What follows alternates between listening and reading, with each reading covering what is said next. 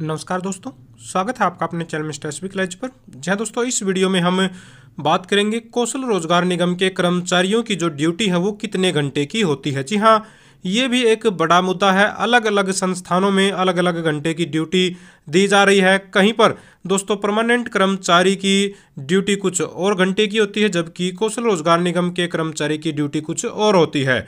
अब वहाँ पर दोस्तों जो कौशल रोज़गार निगम के कर्मचारी हैं वो भी चाहते हैं कि उनको भी नियमित कर्मचारी की तरह से आ, हो सकता है कम समय में ड्यूटी जो है उनको देनी चाहिए। उनको भी पक्के कर्मचारी की तरह इतने ही घंटे का काम करवाया जाए, इस तरह के वो भी दावे करते हैं तो वहाँ पर परेशानी उनको आती है। तो दो इसमें कार्यालय आदेश आप लोगों को दिखाएँगे और बताएँगे, समझाने की कोशिश करेंगे और आप भी अपने जो है विचार कमेंट बॉक्स में ज़रूर शेयर कीजिएगा। इस संबंध में जो बातचीत हम इस वीडियो में करने जा रहे हैं। देखिए दोस्तों, यहाँ पर एक कार्यालय आदेश है स्वास्थ्य विभाग का। जी हाँ महानिदेशक स्वास्थ्य सेवाएँ हरियाणा, पंचकुला के आदेश अनुसार सब डिवीज़न यहाँ पर, एक अस्पताल में यहाँ पर ओपीडी ब्लॉक में दी जाने वाली सेवाओं का समय बताया गया है आठ बजे से दो बजे तक दी जाएँगी सेवाएँ ओपीडी की। अतः ओपीडी ब्लॉक में कार्यरत सभी अधिकारियों, कर्मचारियों को आदेश दिए जाते हैं कि आप सभी तीस चार दो हज़ार चौबीस से, यानी कि आज कितनी तारीख है? दो पाँच है यानी कि एक तारीख ही बीच में गई है तो तीस चार ये है, ठीक है? तो तीस चार से उक्त अनुसार ओपीडी ब्लॉक में कार्य करेंगे।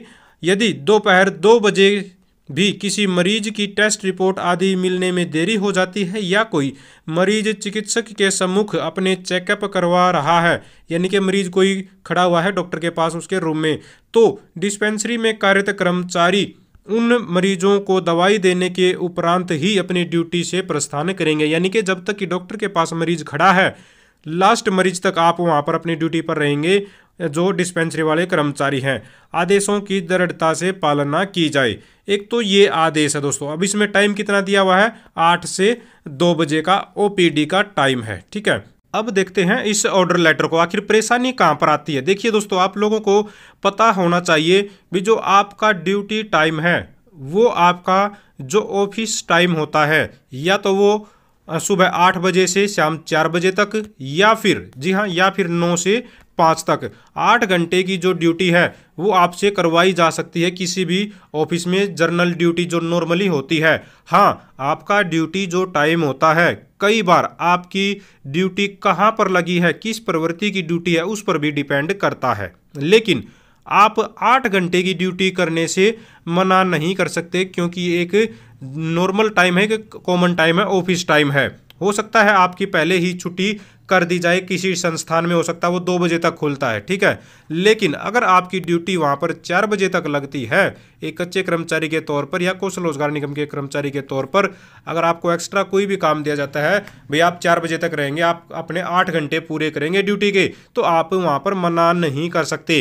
अब इस ऑर्डर लेटर में क्या लिख रखा है, ये बता देता हूँ आप लोगों को।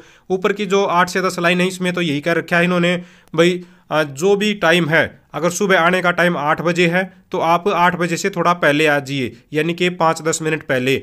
और जब छुट्टी का टाइम है आपका मान लीजिए यहाँ पर दो बजे का आ, दो बजे का नहीं आप चार बजे का एग्ज़ाम्पल लीजिए तो चार बजे का आपका छुट्टी का टाइम है तो आपको चार बजे के बाद निकलना है न कि चार बजे से पहले। आमतौर पर देखने में आता है सुबह तो लेट आते हैं लेकिन जाने का जो टाइम होता है, जल्दी करते हैं और छुट्टी के टाइम से पहले ही निकलने की कोशिश करते हैं। और यही चीज़, यही हालात देखने में आता है जब लंच टाइम होता है। अगर दो बजे लंच टाइम होता है तो क्या करेंगे? पहले ही लंच का बॉक्स उठाकर चल पड़ेंगे दो बजने से पहले। और जब लंच टाइम खत्म हो जाता, मान लीजिए आधे घंटे का था टाइम तो ढाई बजे वापिस नहीं आएँगे, ढाई बजे के दस पंद्रह मिनट बाद वापस आएँगे। तो इस तरह की जो चीज़ें हैं, वो देखने में आती हैं। तो ऊपर के लाइनों में तो ये कॉमन आदेश हैं, सभी के लिए रेगुलर कर्मचारी है एनएचएम कर्मचारी है अचकेरन कर्मचारी है। भाई लंच टाइम भी अपने टाइम पे करें, सुबह आना जाना, शाम को आना जाना, वो सारा का सारा अपना टाइम पे करें फिक्स टाइम आपका होना चाहिए। और दूसरा, किसी अधिकारी को, किसी कर्मचारी को अगर जाना है तो आपका जो एक्टिविटी रजिस्टर एक तरह से जहाँ पर जिसको इसमें हिंदी में लिख रखे हलचल जो रजिस्टर उसमें दर्ज करें। देखिए, हर ऑफ़िस में, हर सरकारी ऑफ़िस में एक लेटर लेटर नहीं, एक रजिस्टर होता है, जिसमें बाकायदा लिखा जाता है। अगर किसी कर्मचारी को पर्सनल काम से जाना है वहाँ पर आप लोग अपना ड्यूटी टाइम डालेंगे मैं इस बजे इत, इतने टाइम पर मैं जा रहा हूँ। या फिर ऑफ़िस आपको भेजता है पर्सनल ऑफ़िस के काम से ही सरकारी काम से तो उसमें आपका नाम लिखा जाएगा बाकायदा आपका काम लिखा जाएगा कितने बजे यहाँ से आप जा रहे हो? वो सारी चीज़ें नोट करके जानी है वो आदेश दिए गए हैं। अब जो ड्यूटी की हम बात कर रहे थे वो देखिए यहाँ पर। इसमें इन्होंने स्पेशल अलग से बोल्ड लेटर में जो है वो मेंशन किया हुआ है ये चीज़।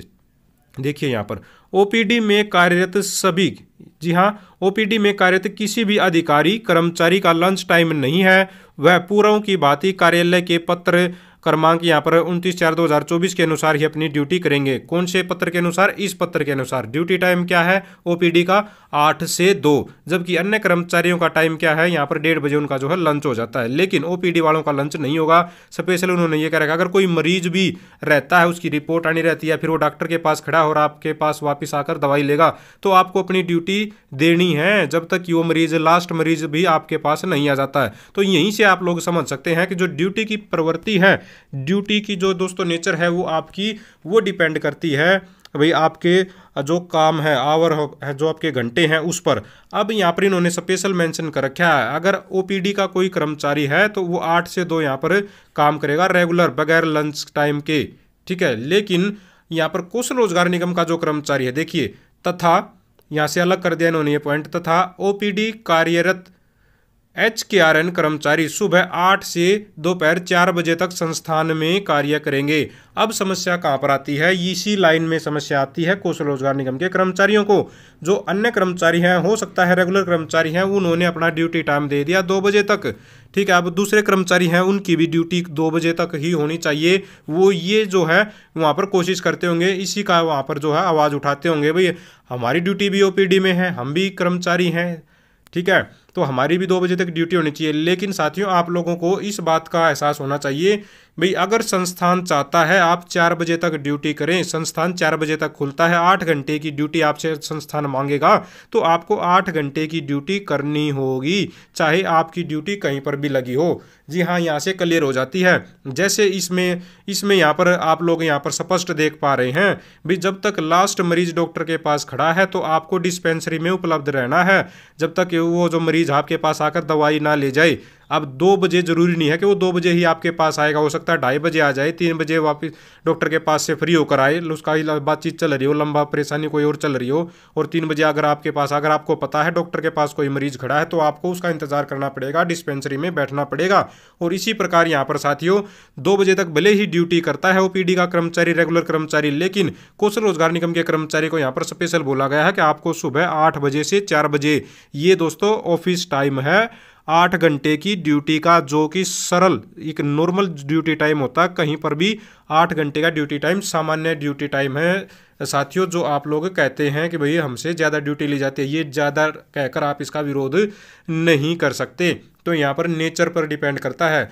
हाँ अगर आपकी ड्यूटी आठ घंटे से ज़्यादा करवाई जाती है तो आप बोल सकते हो, वरना संस्थान आपसे आठ घंटे की ड्यूटी किसी भी रूप में, अगर आप जिस भी पोस्ट पर काम करते हो, वहाँ पर ले, आपसे ड्यूटी लेगा ही ले सकता है, उसका वो हक बनता है। तो यहाँ पर आई थिंक क्लियर हो गया होगा, बहुत सारे साथियों का, छुट्टी का भी इशू इसी तरह का होता है, ठीक है?